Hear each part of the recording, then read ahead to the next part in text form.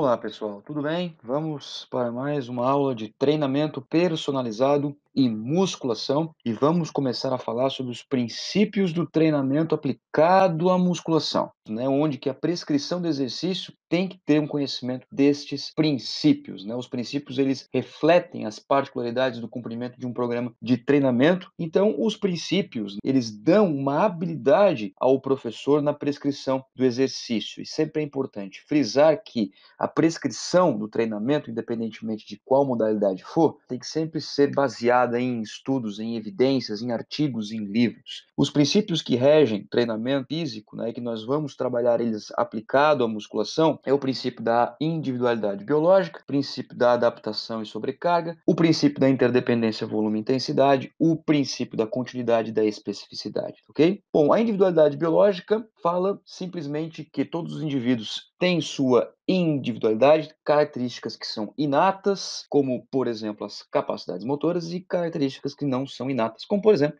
as habilidades motoras. E na musculação é muito importante algumas características que fazem parte da individualidade, tanto na questão inata quanto na questão não inata. Então, por exemplo, a genética é um fator predominante para a identificação de perfis dentro da musculação, a experiência com o exercício né, e a diferença que existem entre indivíduo para indivíduo com a sua experiência. Então, não é porque ele tem um ano de treinamento, o indivíduo, que ele é igual àquele mesmo que tem um ano. Né? É importante saber respeitar a experiência com o exercício. O metabolismo energético predominante, as pessoas que têm uma tendência a ter um pouco mais de resistência anaeróbia, outros mais resistência aeróbia, assim como seus hábitos alimentares, fazendo parte das características não inatas. E na musculação, é muito importante saber também entender os hábitos alimentares, porque tudo isso faz com que tenha-se um maior potencial de adaptação. Adaptação e sobrecarga está né, tá vinculado com a qualidade do treinamento, a quantidade do treinamento que resulta no treino propriamente dito. Saber escolher os exercícios corretos para o desenvolvimento de um aluno. Então, a qualidade e a quantidade, ou seja, o treino correto, faz o aluno se adaptar. Então, sempre quando nós pensarmos em estímulos, estímulos crescentes é que promovem adaptação e melhoria no desempenho. Estímulos que nunca saem no mesmo lugar, a falta de melhoria acontece. Nós chamamos de platô.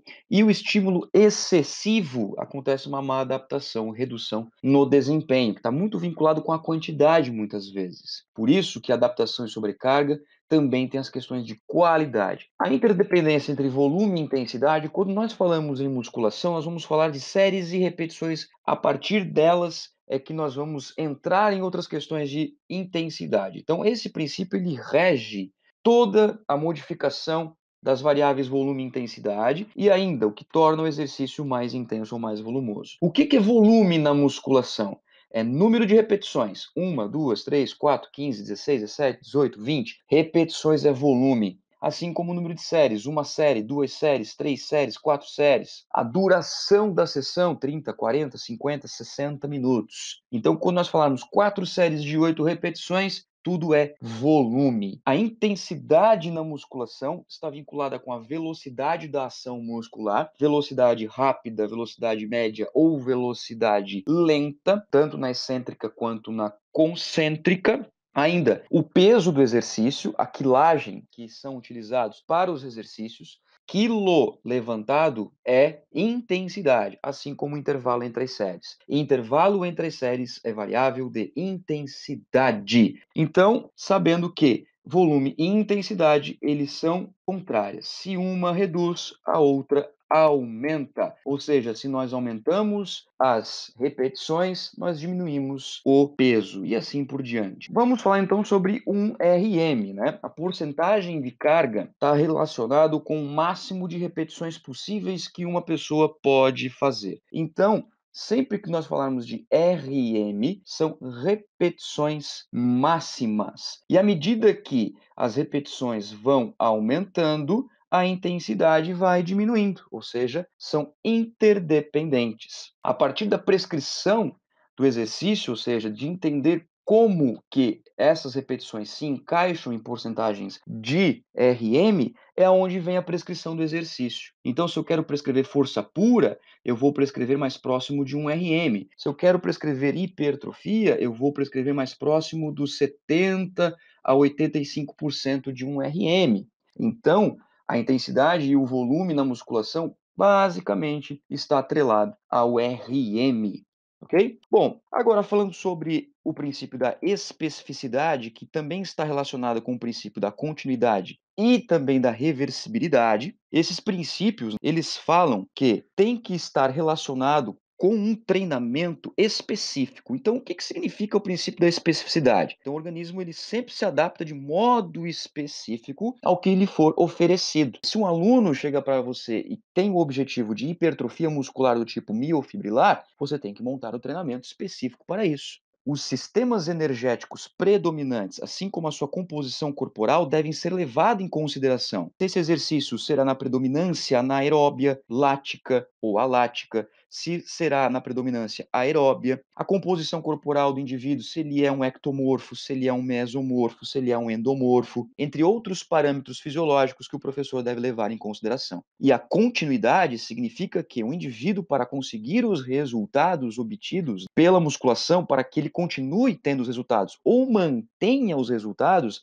ele tem que continuar com o treinamento. Ou seja, não pode interromper este programa. E o princípio da continuidade, ele também se relaciona com a reversibilidade. E o princípio da reversibilidade assegura que as mudanças corpóreas conseguidas pelo treinamento, como por exemplo a musculação, é de natureza transitória. Então, as mudanças funcionais e morfológicas adquiridas pelo treinamento físico retornam aos estados iniciais depois que há uma parada de treinamento. E esse retorno aos níveis iniciais, ele tem a mesma velocidade de aquisição. Então, toda aquisição que se ganha lentamente em um tempo prolongado mantém-se com mais facilidade e perde-se com mais lentidão que as aquisições conseguidas rapidamente em um tempo curto. Então, se nós olharmos dentro dessa premissa do princípio da continuidade, especificidade, reversibilidade dentro da musculação, Quatro semanas sem treinamento deve-se começar da estaca zero. Entre a progressão subsequente, ela será mais rápida do que o início. Então, aquela coisa de que quando a gente para por um período curto de tempo, nós voltamos mais rapidamente ao ponto em que nós estávamos, porque o corpo ainda tenta segurar as capacidades que você ganhou com um programa anteriormente conquistado. Só que, claro, essa manutenção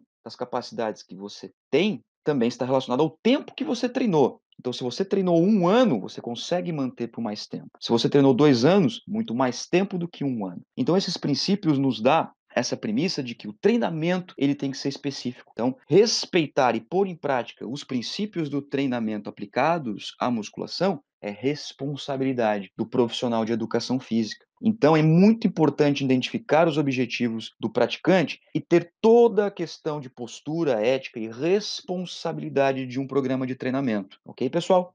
Eu agradeço a atenção de todos vocês, um forte abraço e até o próximo vídeo.